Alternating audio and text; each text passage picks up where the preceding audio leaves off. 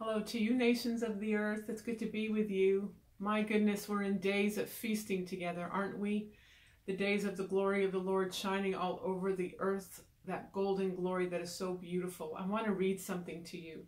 It talks about the Lord yearning for his bride to come together, and he says, Out of your innermost being is flowing the fullness of my spirit, never failing to satisfy. Within your womb there is a birthing of harvest wheat they are the sons and the daughters nurtured by the purity you impart.